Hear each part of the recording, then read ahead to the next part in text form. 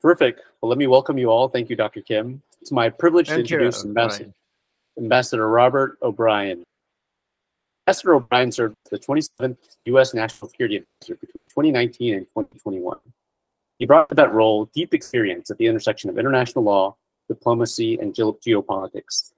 He began his legal career as an officer in the Judge Advocate General's Corps, the legal arm of the U.S. military. He served as a U.S. representative 60th session of the UN General Assembly. And served also as the special presidential envoy for hostage affairs. In between these and other public service roles, he's led a successful career in private practice, specializing in international proceedings. He's currently chairman of the American Global Strategies LLC. He's also chairman of the Richard Nixon Foundation.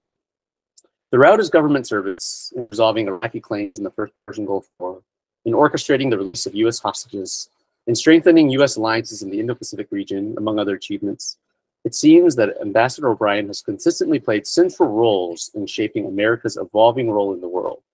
We look forward to hearing an assessment of the Korean Peninsula, U.S. national security issues, and the broader Indo-Pacific region. So please join me in welcoming Ambassador O'Brien for his remarks. Thank you. Welcome, Ambassador.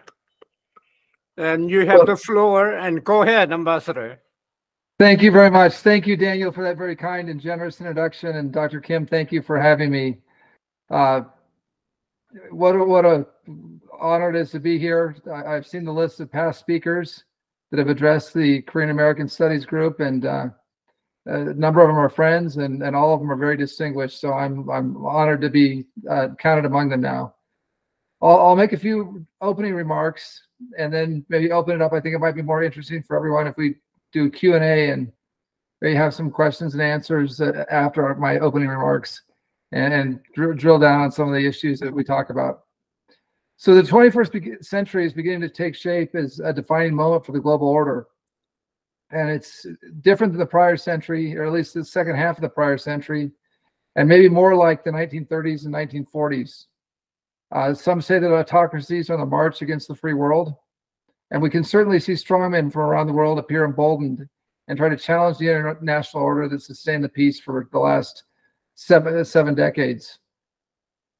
Perhaps more concerning, we see that a new axis forming to challenge the US and its allies and destabilize the world. Those countries, Russia, Iran, North Korea, China, are increasingly aligning. And although their interests and ideologies are different, they have one common goal, and that's to displace the United States as the leader of the free world and to change the international order. And while the free world has rushed to support Ukraine in its defense against the Russian invasion, the enemies of freedom have also stepped up to support Moscow. Iran is supplying drones. China is keeping the Russian economy afloat through oil and energy purchases.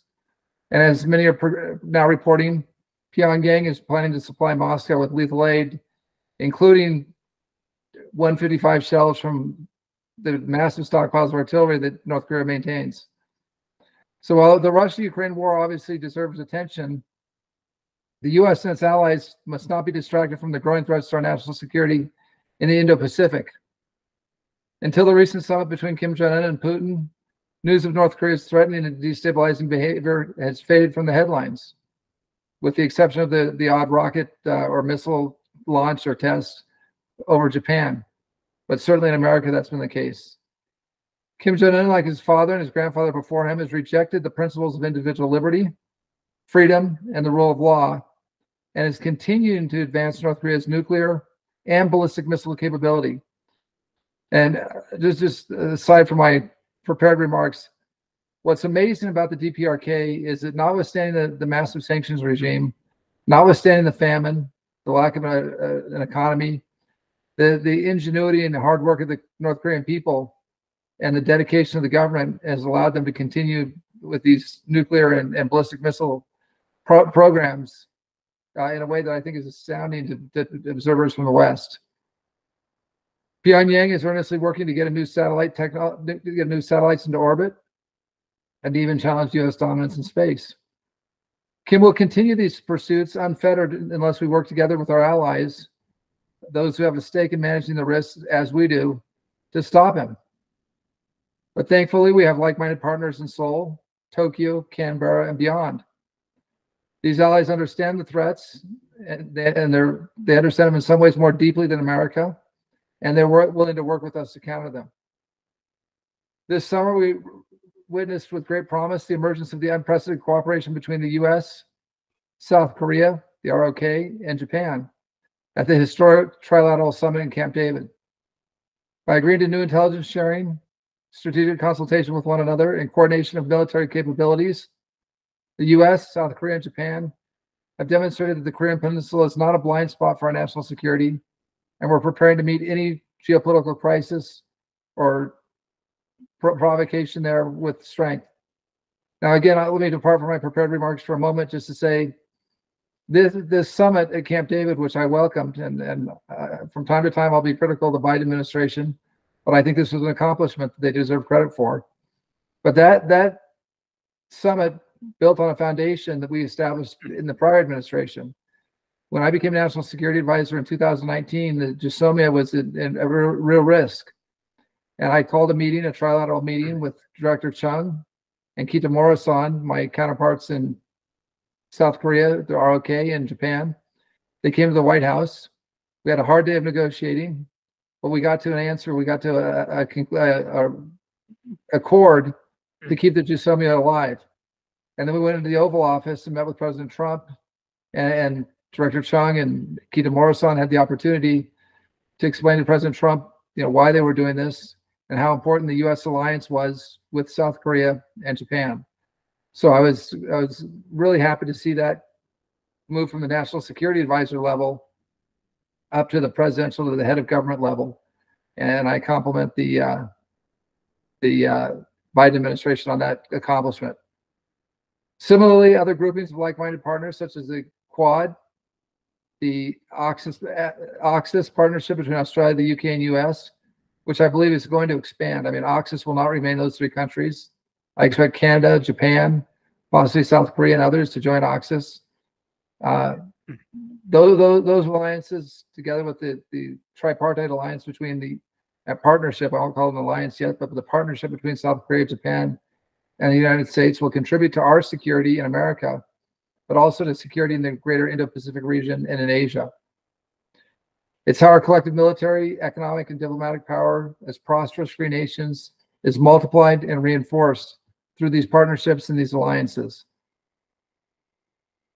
In addition, it's important to remember that economic security is national security. Our adversaries not only pose a military threat, their actions have an impact on our economic security as well. The supply chains for the world's most critical technologies like semiconductors, and let me add to that EVs, AVs, battery technology, green green energy technology run right through Asia. And adversaries like trying to, uh, are trying to use the vulnerability of these supply chains to exert pressure on the U.S. and its allies, and to achieve their own geopolitical aims. And just to give you an idea of what what they're willing to do and what they can do, is what we saw a few years ago when China was upset with Japan and threatened to cut off their supply of rare earth minerals, rare earth elements, REEs. So economic coercion is a primary method by which the CCP seeks to achieve its goals and promote its interests. The CCP sees economic interdependence as folly and its own national security interests and, and national economic interests as a zero-sum game. And many of you have negotiated with the Chinese over your careers. I certainly have, both in the private sector as a lawyer and in government. And the Chinese always talk about a win-win solution. That's their favorite phrase in negotiations as many of you know. But what they really mean is a win lose scenario where Beijing wins and the other side loses. Military exercises, communist propaganda, and coercive, coercive business practices seek to undermine the stability of our partners, first and foremost in the Republic of China, Taiwan, but also in Japan and the Republic of Korea, South Korea. Who plays a role? All of these countries play a key role in global the global supply chain for semiconductors as well as other advanced technologies. So if China can drive a wedge between our Asian partners and America, they harm our economy, promote their interests, and harm the economies of our allies. In the United States, our businesses have begun to wake up to the reality that China poses a formidable risk to their economic well being, and they're looking to relocate and restructure production and manufacturing. Some of it is onshoring, bringing it home, because we had much of our industrial base hollowed out by the Chinese during the 70s, 80s, and 90s when people naively believed that if we turned a blind eye to Chinese economic coercion, IP theft, uh, dumping, unfair trade practices, that if we turned a blind eye to those things and let China get rich, China would become more like us. They'd become more democratic, more liberal, and we've seen just the opposite happen. So we need to onshore, but we also need to friendshore because being able to buy key components from our, our allies and trusted partners is almost as important to America as, as onshoring. So once these near-shored, friend-shored, and, and, and onshore supply chains are, are developed, we need to ensure that there's an uninterrupted supply of uh, uninterrupted commerce between those supply chains, and so so the Chinese can't disrupt them. And again, what we're seeing in Taiwan with the the incursions on the the, the median line in the air, air identification defense zone, and what we're seeing in the South China Sea more recently. This has been going on for some time, but becoming more aggressive recently with respect to the Philippines and other nations, shows that we face an unprecedented risk, and we'd be reckless not to address it. Now, in spite of these challenges, I remain confident in America's future, and I remain confident in the future of our allies, because we have a way of life that we want to protect, a way of life that revolves around individual freedom and liberty, free expression, and and we're not going to give it up. And, and, South Koreans have shown the will to fight for for their freedom, and, and have sacrificed many many thousands of lives to do so, as have Americans, as have our friends in, in these other countries in, in, in Indo-Pacific, including we're going to see increased threats on India from from China. So whether we're facing off against Kim Jong Un or Xi Jinping in the Indo-Pacific, Putin in Europe, the mullahs and ayatollahs in Iran, or any other dictator that may emerge, one principle remains key. And I used to tell this to my staff at the NSC when we had our monthly or weekly meetings with the senior staff and monthly meetings with the, the entire staff. Weakness in international affairs is provocative. Strength is the most powerful deterrent to aggression by our adversaries. And so even the perception of weakness, and we unfortunately we had some of those that, that perception exists or is existing today after the catastrophic withdrawal from Afghanistan, the way that it was executed, the invasion of Ukraine. But I can tell you that America is fundamentally strong and our allies are fundamentally strong, even if we appear uh, not to be practicing peace through strength at this point. But we need to get back to the, that doctrine of peace through strength because it works. So with that, I'll, I'll uh, just just wrap up and, and let you know I'm optimistic and there's a, a concern I'm, I know among friends and allies that America is becoming more isolationist, more inward facing. And there is some of that. We have massive challenges here at home. We've got a, an open border. We have cartels that are trafficking in, in human trafficking and drug trafficking and opioids and fentanyl and, and cocaine and, and other drugs that are coming over and, and harming our citizens. 70 to 100,000 of our citizens are dying a year from these from I, I don't want to call them overdoses because many people buy drugs thinking they're legitimate, and it turns out they're laced with fentanyl. It ultimately comes from China, but it's transshipped through through Mexico by the cartels. Uh, we have homelessness. We have political discord. So we're facing a lot of challenges in America, but we're going to overcome those challenges. And and although we may be focused on those challenges, we know that our great strength. And I used to tell this to people all the time when I was in office. The great strength that America has is we have true friends. We have true allies.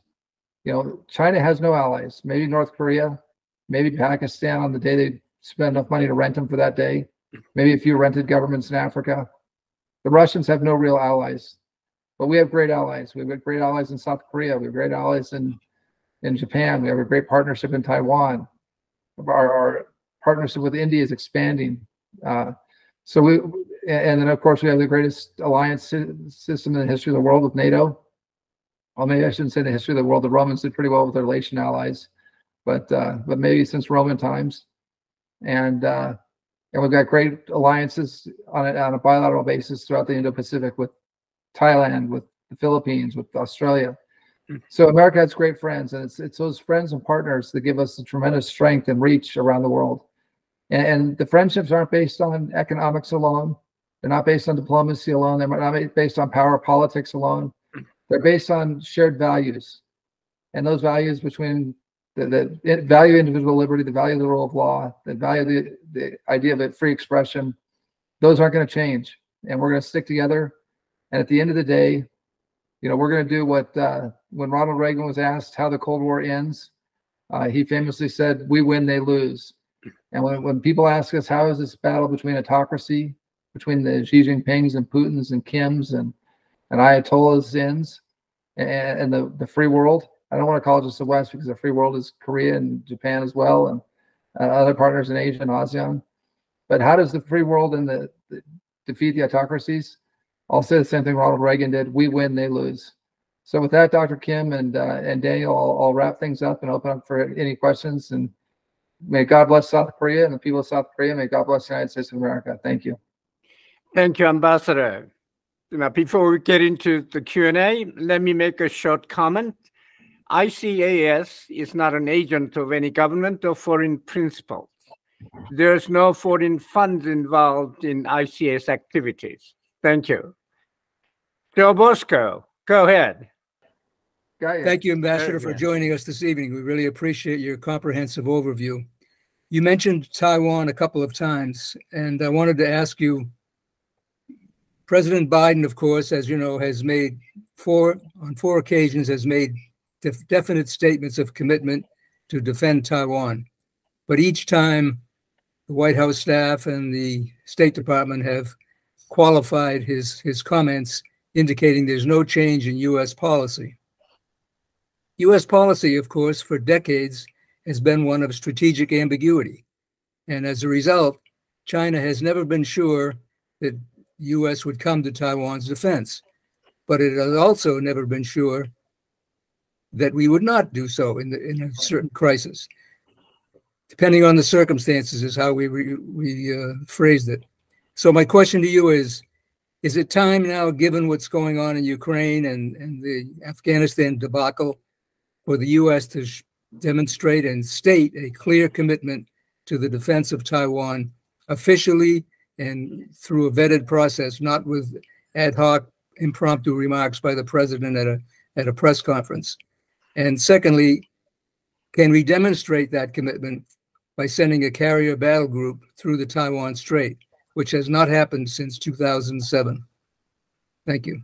Yeah, so so Joe, you know these issues better than anyone, and uh, so thank you for the question. You know, I, I kind of I, I think what President Biden was trying to do after Afghanistan, and some some of his comments were before the invasion of Ukraine, and some were after but I think he was trying in his own way to restore the idea of strategic ambiguity. I think the Chinese were starting to believe that we would not come to Taiwan's aid. And I think Biden was trying to show that was at least trying to to raise that that doubt uh, in the leadership of the CCP in Beijing. Now, it was interesting, as you noted, that on all four occasions, his staff, you know, went right out. Jake Sullivan and others went right out to to walk back the statements the president made. And I, I kind of chuckled because I thought if President Trump had made a statement four times and I'd gone out and walked it back, I would have had a, a, banker's box of, of my personal items and been walking out to West Exec Avenue and saying goodbye to my friends at the White House because I wouldn't have survived walking back the president's statement four times. So it's a obviously it's a different White House. Uh, I, I, think the ideas are trying to maintain strategic ambiguity, and I think Biden's trying to put a little bite into it. Uh, there, there was an old saying back in the Reagan years, I, I started out in politics and, uh, as, a, as a young intern in the Reagan years. Uh, let Reagan be Reagan. And uh, that was the conservatives felt that Baker and some of the others had too much influence. And Jim's a good friend of mine and secretary. And I, I thought it was fabulous. But people thought that, you know, the Meese and some of the others were kind of being pushed out by the more Bush people. And so they, they talked about letting Reagan be Reagan. Uh, what I'd say now is let Biden be Biden, at least when it comes to Taiwan. Uh, and uh, I never thought I'd say that as a, a Republican, but uh, I think I think President Biden does have an instinct there that, that's that's correct, and he's trying to send a message to Beijing that that uh, hopefully they're hearing. But the, the walkbacks don't help. Now, as far as, as changing the policy, one of the things that we did and and that, that I declassified, and there's lots of talk about declassification these days but I did declassify the uh, the additional guarantees or the additional uh, accords that we had with Taiwan that the president, uh, both the, Nixon, Ford, and, and Carter uh, had given to Taiwan, and th those assurances have now been declassified. uh, again, the idea was to send a message to, to Beijing that uh, that we do have a commitment to our ally, our, our partners. I don't want to call them allies because they're not allies, but but serious, very strong partners. Now, I don't know, uh, Joseph, if changing you know, the the our, our commitment to ambiguity on a strategic sense to a, a more clear statement is what will really deter China the CCP. I think what does deter China isn't rhetoric, but it's action. And you alluded to that in the final part of your comment about sending a carrier battle group to the Taiwan Straits. I don't see there any reason why not. I think we ought to send a message that you know we can operate inside the A2 A2 A2AD envelope they've tried to create with their Dongfeng missiles and other platforms, and that we we have our own. I'm not going to get into it on this call, but you know we we certainly know how to operate within an A2AD environment and fight within that environment and fight and win. You know, certainly at great cost, but but I, I think we prevail. Um, and I think sending a, a, carrier battle group would would certainly send a strong message to Beijing. But I think what's more important at this point is that we send the weapons that that Taiwan, that Taipei is is ordered and paid for, and that we're not getting to Taiwan. And I, I understand of the 24 billion, about 16 billion of it are the F-16s, and you can't build an F-16 overnight. But we got to make sure those those production lines are hot, that they're fast, that we're working two and three shifts, and and we need to. I think what will a bigger message to the Chinese communists is this is to send the aid. Well, it's not even aid to send the weapon systems that the the Taiwanese have bought and paid for, and get them to the island, get them to Formosa, and uh, I think that sends a strong message, even more so than changing a policy on paper or, or rhetoric, if that makes sense. So thank, thank great, great question. Thank you. Thank you, Ambassador. Tong Kim, go ahead, please. Thank you, Ambassador. Uh, my question is a very broad and general one. I listened to you very carefully, your statement of uh, state of affairs everywhere, ranging from security, economy, political, and other issues as well. Thank you for doing this for us. Now, my question is very broad, as I said.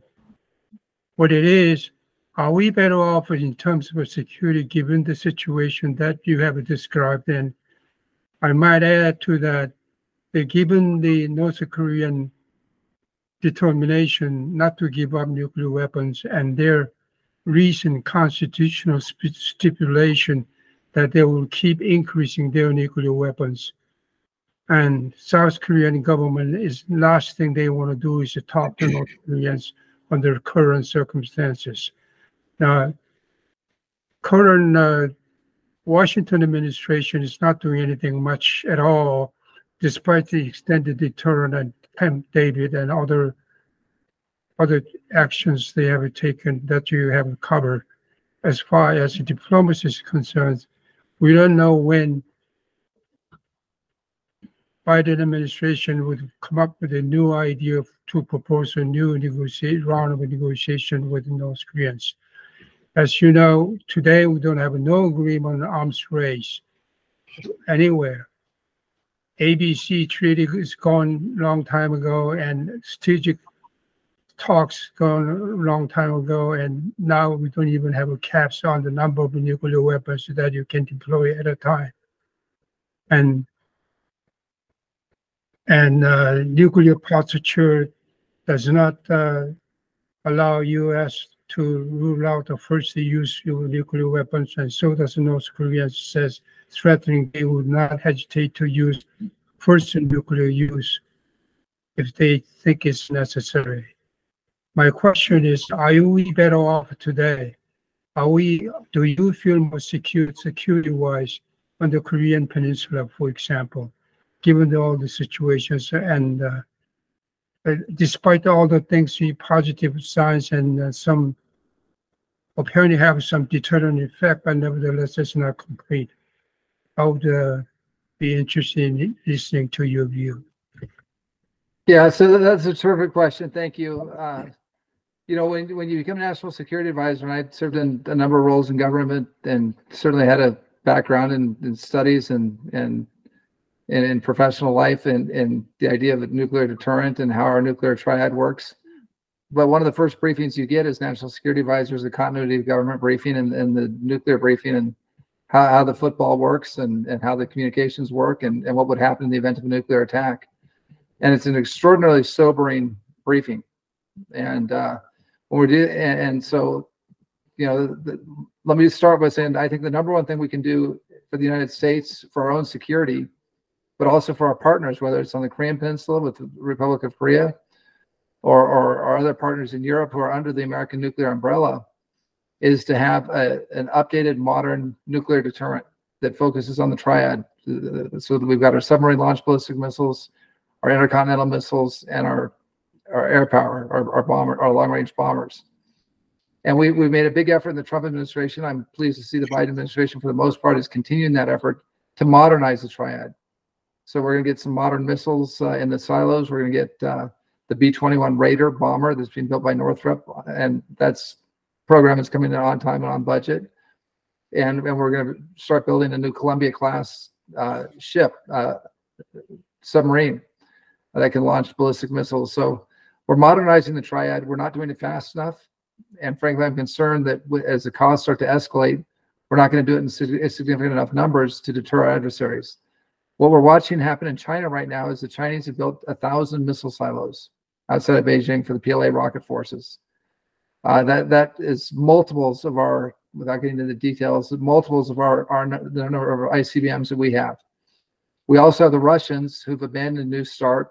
I did the New START negotiations with General Patrushev in Geneva back in October of 2020, and we came to an agreement on the extension of this New START. Uh, the Biden administration went a different route and gave them a clean extension without a cap on tactical nuclear weapons, which we, we had put into our agreement. And now the Russians have even abandoned the, the clean extension of New START. So we, we there's not much of an arms control framework left uh, between even the great powers. We tried to get the Chinese involved in the New START negotiations. They flatly refused and said they weren't going to have any uh, put any constraints on the number of nuclear weapons that China would have. So great power nuclear arms control deals are uh, not basically non-existent at this point. And then we have proliferation on the North Korean Peninsula. We we achieved it in the Trump administration, a commitment, as you know, from Chairman Kim to denuclearize the peninsula. He didn't follow through, but he didn't also test any more nukes, and he didn't test any ballistic missiles once we got our conversation started. Uh, the, the missile tests have started again. I hope the nuclear tests don't start. And then we've got the Ayatollahs and mullahs in Iran who are, you know, hell bent on on a nuclear weapon. I, I think they're going to have one very soon. Uh, their breakout time is now in weeks, not months.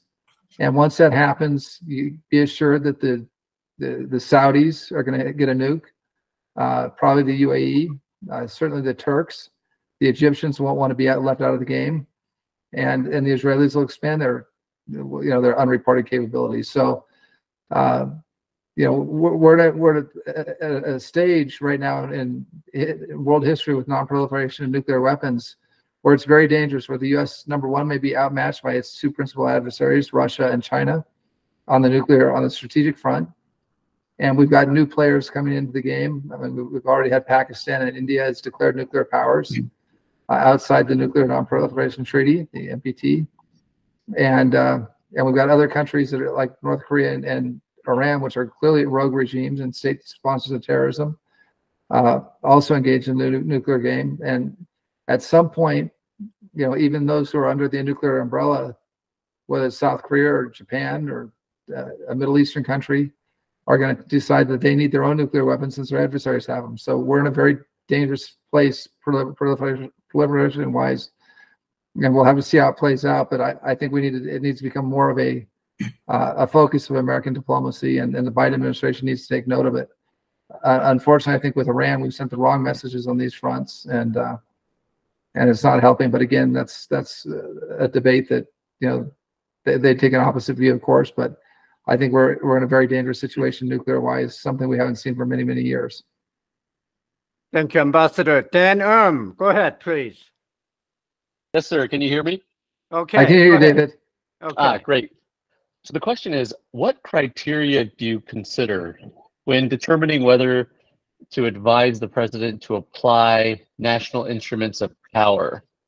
because it seems that many of the debates over whether the U.S. should intervene in Ukraine, Taiwan, and so forth come to questions of what's important enough to sacrifice U.S. resources. So I'm considering, I'm wondering if you have a set of internal criteria you consider when thinking about when and how to apply national instruments of power. No, that, that's a great question, and, and, of course, all these situations are, are different. Uh, so there's there's not a a recipe, but I, I think the first thing we always consider is what's the threat to America's homeland. Number one, is there a threat to an American treaty ally? Uh, number two, and, and, then is there a threat to the international stability or to a partner or friendly nation? Is there a principle we need to uphold? So, if you think about Ukraine, which is not a NATO ally, and, didn't have a formal alliance with the United States, but is a, a democracy, an emerging democracy, we've seen this this play out before. At least in my lifetime, we've seen Argentina attack the Falklands and try and change international borders by force, and they were rebuked and, and driven back. We saw Iraq uh, invade Kuwait and try and make it the 19th province. And again, the world rallied and, and rebuked Iraq and, and drove Iraq out of Kuwait.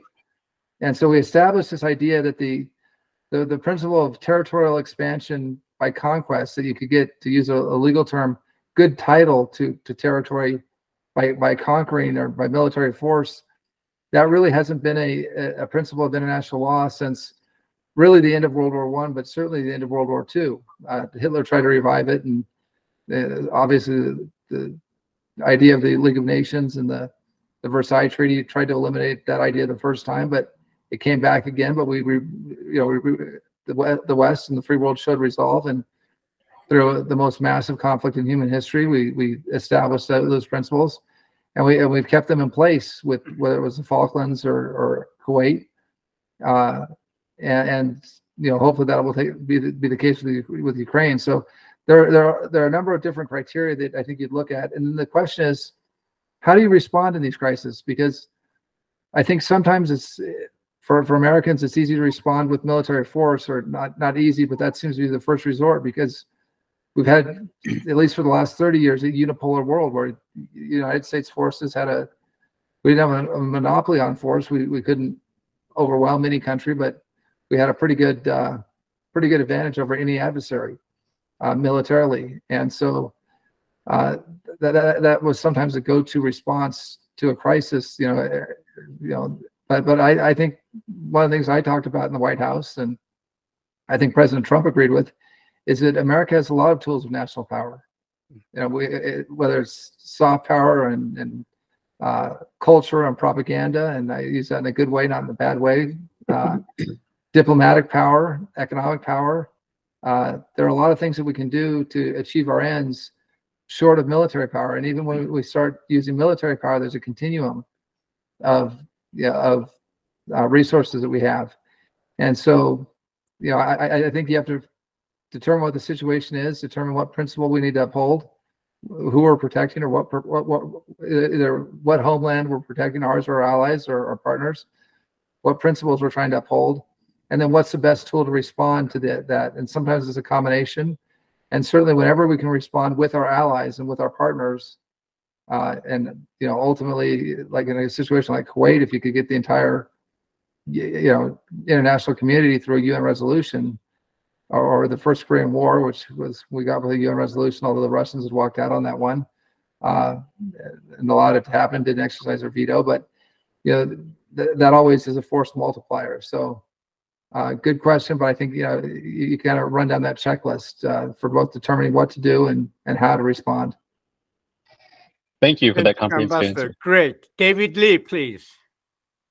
Hi, yes, uh, thank you so much for being here and for your remarks.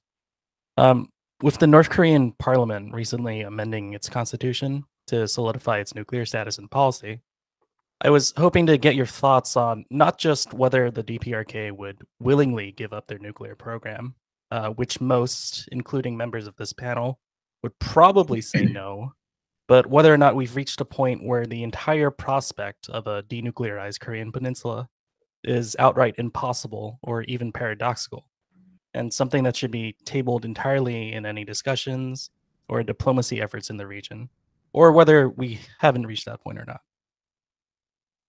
Yeah, so so North Korea has bedeviled Republican and Democrat administrations, and it would be easy for me to say that you know we've got all the right answers on our side, uh, and the Democrats don't, uh, because look, you know, Kim Jong Un has moved forward, and his, his father moved forward with the program, you know, through multiple administrations, starting with the H.W. Bush administration all the way through Clinton, Obama, Bush two, uh, Trump. Uh, they, they're pretty committed to it, and this recent action of Parliament is, you know I, I discount that somewhat because Parliament wasn't going to do anything that the Supreme Leader didn't, you know, uh, tell him to do, or the dear leader, you know, didn't tell him to do. So, uh, it, if, if they did it, it could be undone as well. So I, I don't put too much stock in that. I, I see that more as a, a message to the West and a message to South Korea as opposed to an actual change in policy. But getting to your second question, how do you actually denuclearize the peninsula? That, that's a tough one. I mean, and, and it, you know, so far it's it's been out of reach. We came, I think, the closest in the Trump administration uh, to in administration in achieving that goal. But you know, when when Clinton passed on military force, you know, back in the '90s, that was probably the last best opportunity to to seriously seriously derail it. And I think we're now living with a, a nuclear North Korea. Now, you know, our response, the you know, mobilizing our allies and partners and, and putting maximum pressure on Korea on, on the DPRK to, you know, ensure that they don't expand their stockpile and continue to test and develop even more dastardly weapons. I mean, they're trying to develop a submarine launch ballistic missile, according to press reports. Uh, the more we can do on the diplomatic side to discourage and, and make it more difficult for North Korea, the DPRK, to, to achieve their ends, the better. But it's it's it's really hard work and you know it's it's it, it, has, it has not been easy and uh, it's it's been a, a tough question for for every American administration for the last 30 years. So I don't have a good an- I don't have a good answer for you, David. I'm sorry. Okay, Hee Jung, go ahead. Hee go ahead. Um, thank you, Ambassador, uh, for your time being here and sharing your insights. Um, my name is Hee Jung. I'm from South Korea, and I'm currently studying international relations and honors humanities and economics at Azusa Pacific University in California. And my question great, great is about. School. Thank you. My question is about Taiwan and China conflict, and there is a small Taiwan island called Kinmen County near the southern China. And currently, about hundred thousands of Taiwanese are residing in the island and I believe China might attack the county first before invading the whole Taiwan to see how the US reacts to this issue. So if China attacks Kinmen County, should the United States directly engage in war or what should the US do? So, hey, hey, John, hey, John, that's a good question. And it's a question that's been asked uh, since the presidential debate between uh, John F. Kennedy and Richard M. Nixon in 1960, and uh, talking about the islands of Quemoy, Quemoy and Matsu. Uh, and we, we oftentimes forget in America that Taiwan is not just one island. It's not just the main island of Formosa, but it's it's a part of an island chain. And, and some of those islands are, are very close to uh, China, to the to the mainland, to the PRC. Uh, some are as close as 12 miles, and they have ferry service to the the mainland and people do their shopping on the mainland, and and there are very close ties on some of these outer islands uh, between the people of Taiwan and the people of the of, of China. And I've always, you know, look, I think that the Chinese are considering taking serious action against Taiwan. I think they may do it within the next year and a half before the end of this administration. Uh, my friend Admiral Phil Davidson, I think, probably agrees with me on that front. Uh, but what what action they take is a question. Whether it's a big Normandy style invasion or Sicily style invasion, amphibious assault, which you know people are concerned about and prepared for, or is it a blockade, or is it a slow salami slicing away of Taiwanese sovereignty by taking outer islands and and starting to incorporate those into the mainland, with Taiwan not being able to defend them adequately and uh, and winning initial battles just to see how the West reacts, how the free world reacts, how Japan reacts, Korea, America. So we, we, we don't know what the strategy that Xi Jinping will put into place if he does move. But I think it'll be a combination of a blockade and certainly some action against the outer islands that you posit. And we'll have to we'll have to see how that plays out. And you know that in some ways that creates more of a, trouble for American policymakers and and Japanese policymakers who are committed to the freedom of Taiwan, because you know you, you, worry about escalation. So if there's a, a, blockade, a naval blockade, for example, of the island, you know that's an act of war. A blockade is, is an actual act of war. But will will America be prepared to break the blockade, to escort ships into Taiwan, to to sink Chinese ships trying to enforce a blockade, to be the to be the side that escalates the the conflict? Which you know the, the conflict begins the minute there is a blockade, the minute an outer island is attacked.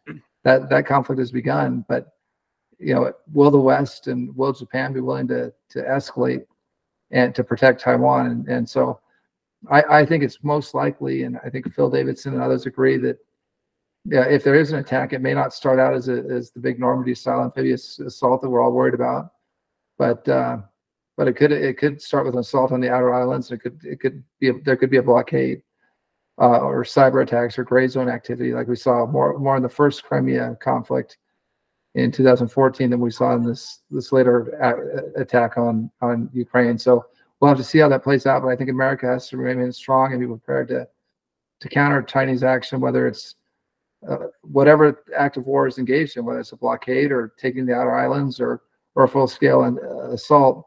We need to have contingency plans in place to deal with each of those uh, tactics. Thank you. So, follow-up question, Joe Bosco. Ambassador, I wonder if you would focus for a minute on the role of China in North Korea's nuclear program. I mean, there's evidence that going back to the 1990s, China, through Pakistan, the AQ Khan network, was funneling uh, nuclear technology to North Korea. And ever, ever since then, China has always protected North Korea diplomatically in the Security Council and elsewhere. And I'm, I'm wondering, I've often postulated about this, that China actually sees a North Korean nuclear program as an asset to China because it's a major distraction and diversion for the United States. We constantly have to kowtow, it's my term, kowtow to China to get their co so-called cooperation on North Korea, but they never really deliver. North Korea proceeds inexorably with its nuclear and missile program, and China simply protects them diplomatically and economically as well, buying their coal, so forth. So, do you think North Korea is part of China's strategic policy against the West and the United States? Yeah, so I, I tend to agree with your your theory, Joe. You know, when we talk about China, oftentimes you'll hear people say, "Well, we're going to compete with them across the board, but there are areas that we can get along with the Chinese. Climate change, as if you know, the Chinese who are building a coal plant a month care about climate change, or they care about the environment when they polluted the Pacific Ocean with enough garbage to create an you know an island as big as a big island of Hawaii of garbage, and about seventy percent of that we've traced to Chinese shipping and Chinese dumping. So the idea that somehow we, we we've got a common interest with China in, in green technology or climate change the only thing they want to do is sell us photo, you know, photo cells and solar equipment and batteries where they stole the technology from us, build it cheaper and sell it back to us. That's their interest in green energy. There, there, there's no real interest in, in China for climate change. Similarly, North Korea is one of those areas where people say, well, we're, we're on the same page with the Chinese, with North Korea. The Chinese don't want to see a nuclear North Korea. They're, they're, they're scared of Kim. He's a rogue in their area. He could use the nukes against them. Now, there probably are some strains between from time to time between the Kim family and and Beijing. Uh, and when we think of North Korea, I, I always think of it as more of the Kim family than a government.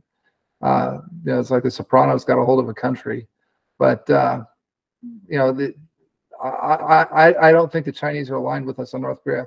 The only time they were aligned with us on North Korea, to be honest, is when they thought we were going to, you know, exercise military force on North Korea, potentially destroy North Korea's nuclear capability and its conventional capability, and that there'd potentially be a re- reunification of, of North Korea and South Korea, because they're they're scared. To, the Chinese are scared to death of the Korean Peninsula becoming united because.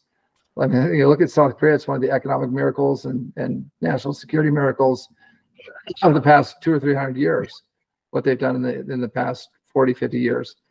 I mean, the Korea, and if you look at, as I mentioned earlier, it's pretty amazing what the North Koreans have done with no assets eh, or very few assets, you know, other than the hard work of their people who are, you know, some to some extent enslaved. But I mean, the, the Chinese look at North and South Korea coming together in one country and are terrified of it, of having a, a country with that kind of strength on its borders, especially if it's a, a democracy that believes in the rule of law and, and it's along the lines of the South Korean government.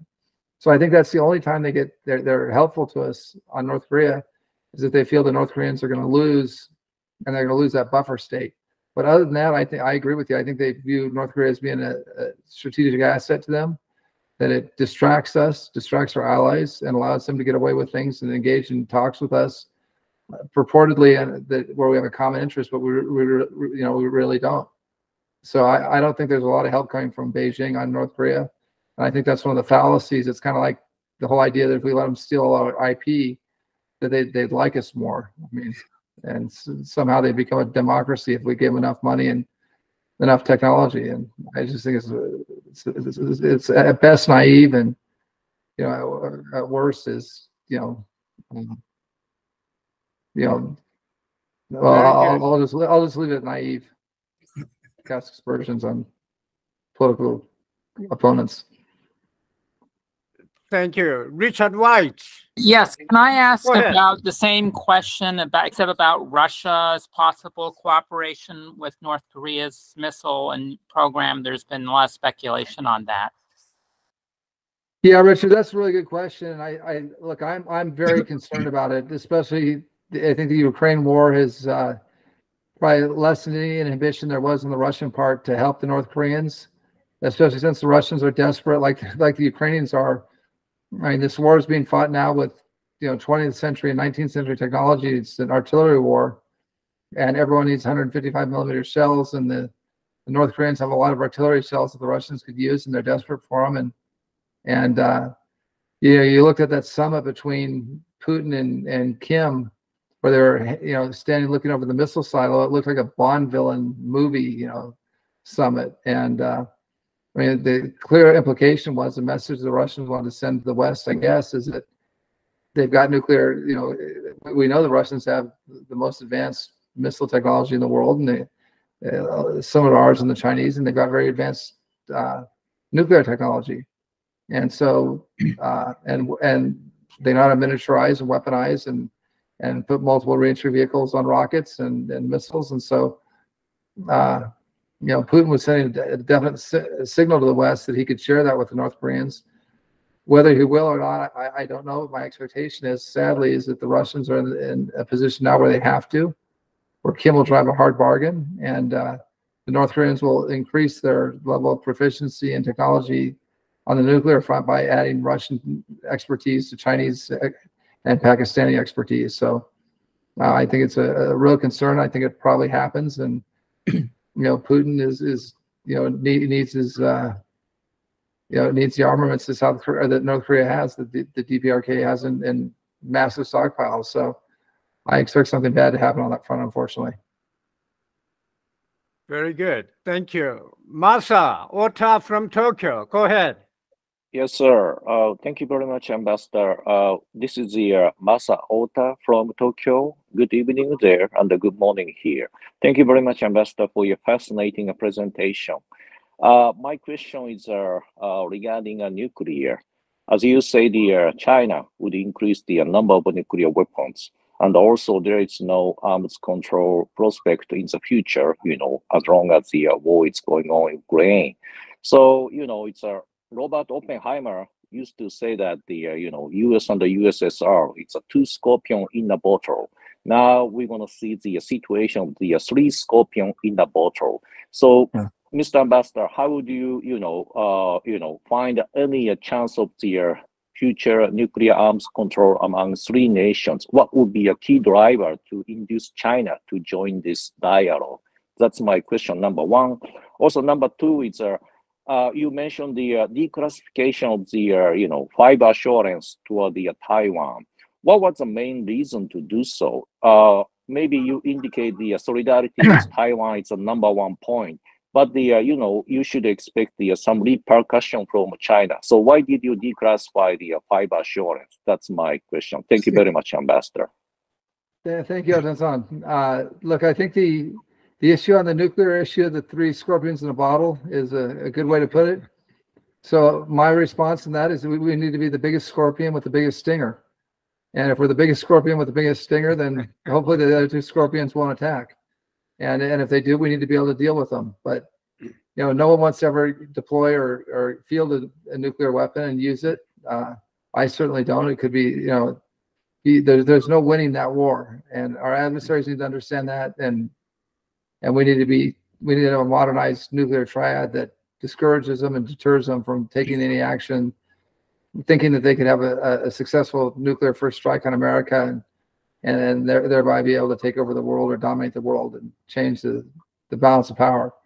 And the only way to do that is it's not through talk, it's not through do- the doctrine, it's through having the, the platforms and the weapon systems that, that we require to a to defeat their on the defensive side to defeat their attacks, and then to have such a, a an overwhelming uh, deter uh, uh overwhelming stockpile and and, and uh, delivery systems of our own that they never want to test us. So that's the answer number one. Number two on the assurances, we tried to do as much as we could towards the end of the Trump administration, even even during the transition, to send a strong message to Beijing that uh, America knew what they were up to, and that we weren't going to stand by and, and let them change the world order. That we were going to defend our liberty and defend the liberty of our partners and friends. And so there were a number of steps that we took, sanctions that we took out on Chinese officials who ended freedom in Hong Kong, and uh, we we took out we we issued a, a, genocide declaration. Secretary Pompeo did on January 19th, the day before he left office,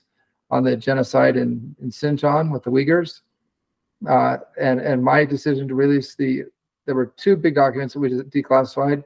One was our Indo-Pacific strategy, which we we cleared that with our allies. We made, we made sure Japan and our our other colleagues who were mentioned, Australia and others that were in as part of that uh, strategy, that they agreed with our declassification. We want to send a message to the PRC that the the partnerships and alliances in the Pacific between the U.S. and its partners or and allies are is a very strong framework, and we thought that that would deter conflict. And we felt the same way with the, you know, this doesn't quite go to Joe's question about the you know, Indian strategic ambiguity, but we, we want to lessen the ambiguity and let them know that there were assurances that we'd given Taiwan. And, uh, you know, I mean, look, I'm not naive enough to, to believe that the Chinese hadn't seen them before. I'm sure they had. But by, by you know, letting, letting them know that we were going to declassify our, our assurances and let the world know, uh, I think that was to give support to our friends and, and part, democratic partners in Taiwan and, and again restore some ambiguity into the situation. So there were a number of steps we took on China, uh, and uh, that that was one of them. Thank you both. Sungjae Park from Seoul. Sungjae? Uh, well, yes. Uh, thank you very much, Ambassador. My question is very simple. And if North Korea exports sales to the Russia, so they can use the sales to artillery sales to the Ukraine. Uh, what uh, U.S. and Japan and Korea should to react? Thank you. Well, you know, this gets to the same question, uh, Mr. Yeah, It's, it's, it's, it's, it's, a tough question. How do you deal with, how do you deter North Korea from engaging in malign conduct and uh, bad acts, whether it's using artillery to shell South Korea or sending mini subs to South Korea or kidnapping Japanese citizens or building nuclear weapons. I mean, they're they're involved in so many malign activities. This would be the most recent. Now, they, they you know if they do do that and it's exposed, and they they export to Ukraine, they're going to lose you know any semblance of uh, credibility that they had in Europe and among the the many countries that are supporting Ukraine. So I think it's a bad diplomatic move for North Korea, uh, and then we'll have to get the gang back together and, and try and insist on maximum sanctions. And that, that probably involves some secondary sanctions against the Chinese who are engaged in business activities with the North Koreans. And we're going to have to, you know, no one wants to sanction China now in a big way. Certainly the, the Biden administration doesn't. The reality is they haven't really been sanctioned Russia in a big way since the invasion. The Russian Feder- Federation Central Bank hasn't been sanctioned. Russia hasn't been kicked out of the SWIFT system. Oil and gas sales are exempted from Russian sanctions. So I, I, I think we're going to have to get, if we want to bring this war to a conclusion, we're going to get much tougher on the sanctions front. And that's going to involve China. And no, no one wants to you know, have, a fight with China now. But you know, for heaven's sakes, they floated a spy balloon over our entire country, and we didn't do anything about it. If, if, North Korea sends artillery shells to Russia, they wouldn't do it without a Chinese wink and a nod at a minimum. And we need to make Russia and China pay for for that activity. We may not be able to bring much influence on North Korea, but we can certainly make, make our displeasure heard with China, with the Beijing and Moscow. Very good. Thank you. Tong Kim, would you have a follow-up question? Tong. Thank you. All right. Okay, uh, I have another question. As I said before, South Korean government of President Yoon Suk Yeol is not interested in dialogue or trying to talk to North Koreans at all. And North Koreans excludes any possibility of even calling South Korea southern part of their country anymore. They call it different name, the ROK, because they don't want to associate with South Korea at all. And uh, Yoon Suk Yeol thinks from past experience, when we try to talk to North Koreans, there was a fake uh, peace, fake peace, which will evaporate as soon as the North Koreans stops talking to us. Now, Biden administration will have to convince the South Korean government first before it, if any, takes up any initiative, diplomatic initiative at all. My idea is if Washington proposes a unconditional talk with South Korea, uh, with the North Korea, DPRK, anything without uh, preconditions, of course, and uh, at any topic, anywhere, anytime, at any level. And you think that might uh, get North Korean interested in talking to again with the uh, the United States at least. Is you think that talking is still better than continuing confrontation and increasing tension of uh, nuclear dangers?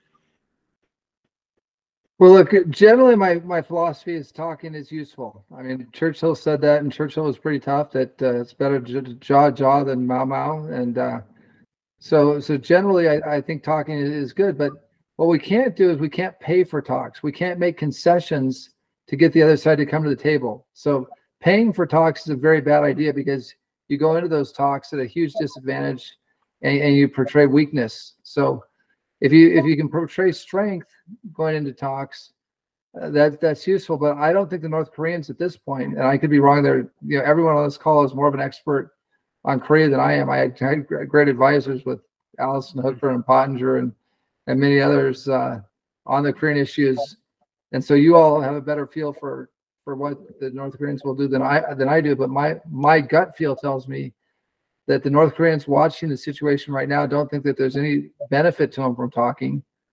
And if they are going to talk to the Biden administration, they're going to make them pay a price of admission. And uh, I mean, we saw this with the Iranians just recently to get five dual citizen wrongful detainees home. We had to unfreeze six billion dollars in sanctioned Iranian money that was being held in South Korea.